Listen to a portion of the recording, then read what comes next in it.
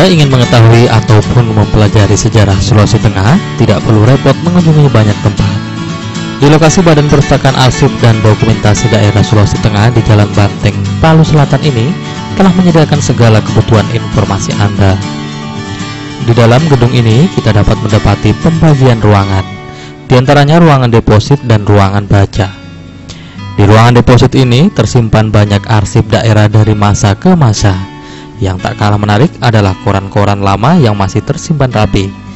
Di antaranya bahkan terdapat koran terbitan tahun 1936. Dan inilah ruangan yang menjadi tempat favorit Anda untuk membaca.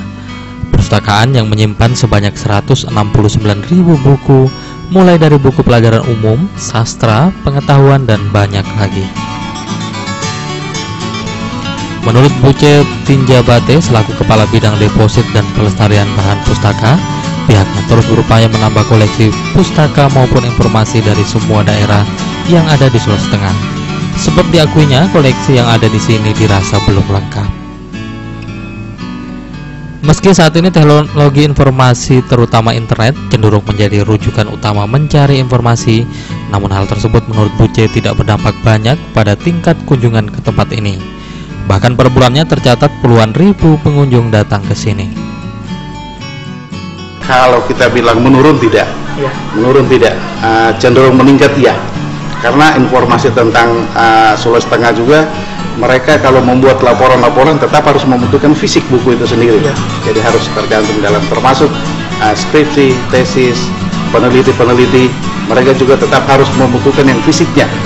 Jadi tidak hanya informasi itu yang ada di internet dan uh, itu hanya sekian persen kalau untuk tesis saja sekian persen ya, Oh ya. tetap fisik.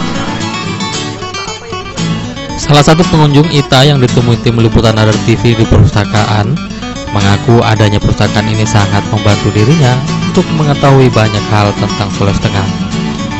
Sebab menurutnya tidak semua informasi bisa dicari melalui internet.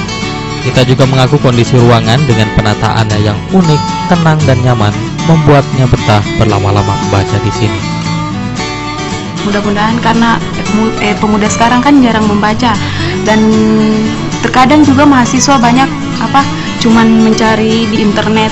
Eh, jarang untuk membaca buku. Karena tanpa buku kita tidak bisa apa pun. Maksudnya tanpa buku.